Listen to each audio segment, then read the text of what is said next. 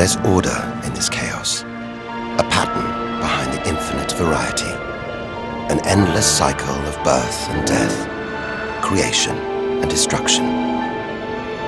It's a pattern woven through the vast fabric of space that binds each of these galaxies. There are billions of galaxies in the universe, each with billions, even trillions of stars. Possibly more stars than there are grains of sand on all the beaches on Earth. And all of these are just the stars that exist now. What about the stars that have been and gone? All the stars being born, yet to be born.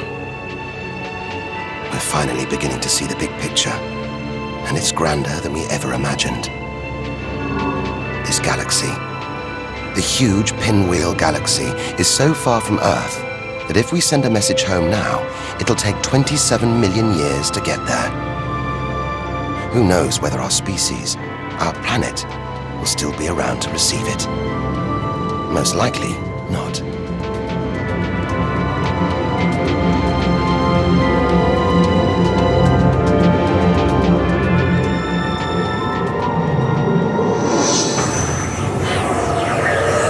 travel on, back through time.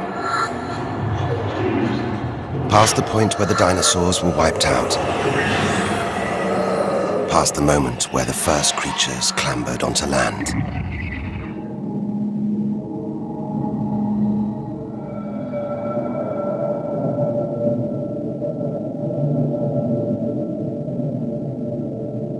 Two billion light years from home closing in on the edge of the universe, going back to the beginning of time. This isn't a galaxy. It's brighter than hundreds of galaxies put together.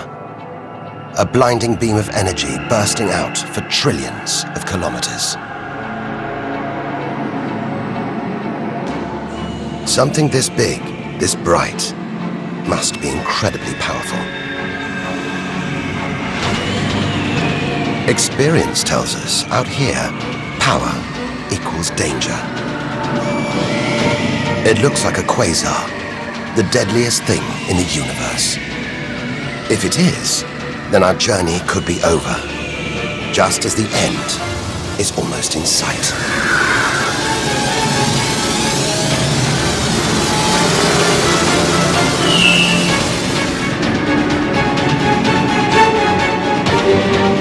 Deadliest, most powerful thing in the universe. A quasar.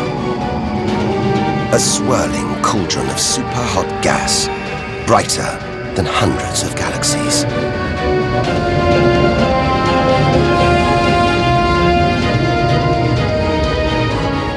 The source of this awesome power lies deep inside the heart of the beast.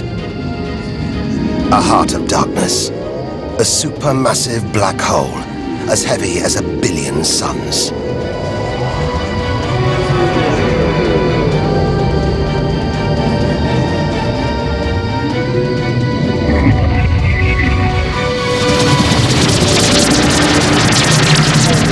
It's ripping apart whole stars, sucking their gases into the quasar, devouring them. Until they're nothing. Lost forever from the visible universe.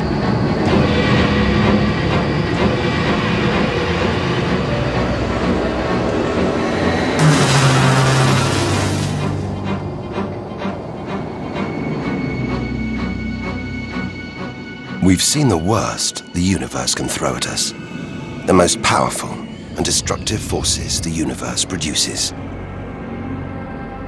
Now it's on to the very edge of the universe. It's almost within reach.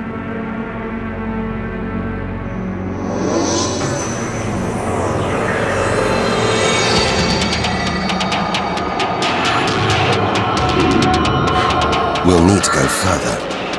Go faster if we're to cross the final reaches of the known universe.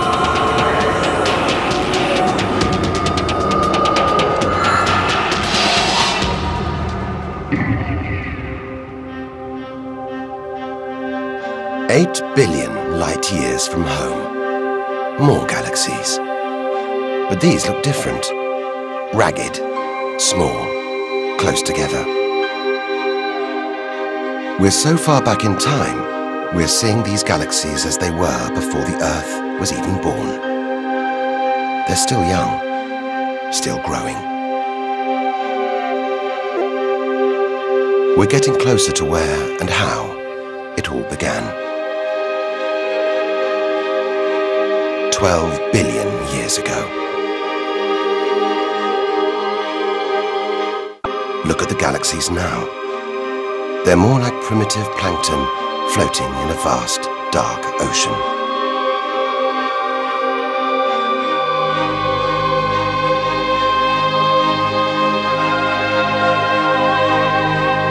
It's magical. Clouds of dust and gas, dancing, forming a shape, merging to make embryonic galaxies. This is how our own galaxy was born.